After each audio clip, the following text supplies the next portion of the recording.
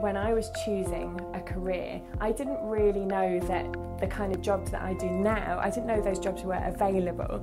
Um, and so it's nice that people have got the opportunity to get some experience in these fields. In line with that, they're also more employable because they've had some experience of using quantitative skills in their daily working lives. You get to work in an actual office environment so you could test out the waters and see if you like doing that. It wasn't just about the work, it was like a whole package you got with that.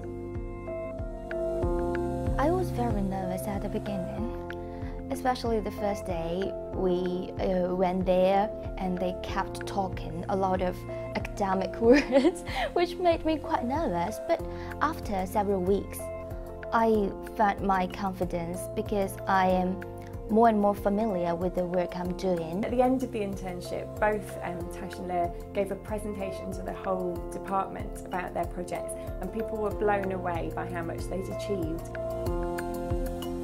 I'm really pleased actually that after the internship, both Tash and Leah seemed to be really interested in the work that we did and they both changed career choices. After the internship, I found that sociology can be something very practical. The Q-Step project had everything to do with me choosing to do a Masters in Statistics and Social Research Methods.